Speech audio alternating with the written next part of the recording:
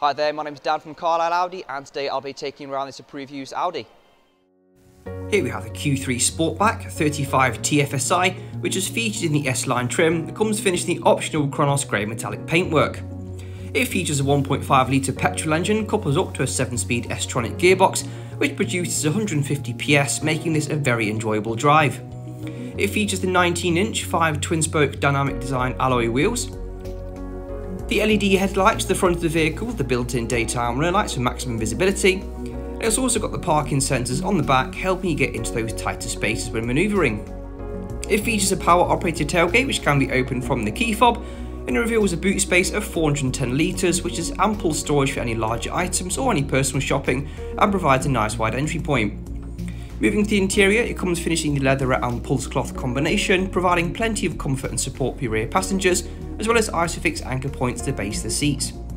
Moving to the front of the vehicle, we've got controls mounted in the door card for your electric windows, and taking a closer look at the interior, it's very driver focused with a leather wrapped multi-function control steering wheel and the silver inlays contrasting nicely.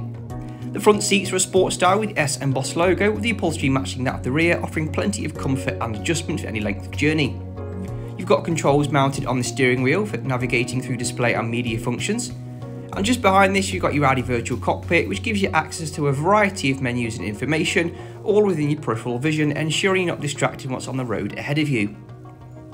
Moving to the centre of the console is where you'll find housed the main Audi MMI system, the shortcuts on the right hand side for DAB and FM radio, media inputs via Bluetooth and USB, telephone connectivity for hands-free calling, and satellite navigation, giving you a crisp and clear display of the route ahead once it's been entered.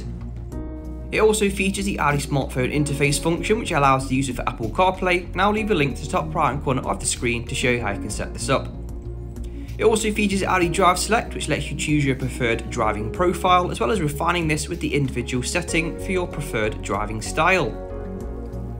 Continuing down we've got the dual zone climate control for both driver and passenger allowing you to set an ambient temperature in the vehicle and you've also got your leather wrapped gear selector providing a nice comfortable and premium feel.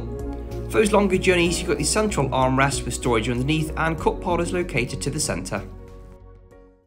This vehicle comes at a minimum of 12 months extended warranty, 12 months roadside assistance and much more. For any more information on this vehicle or to arrange a test drive, please call us now on 01228 371 516 or inquire online.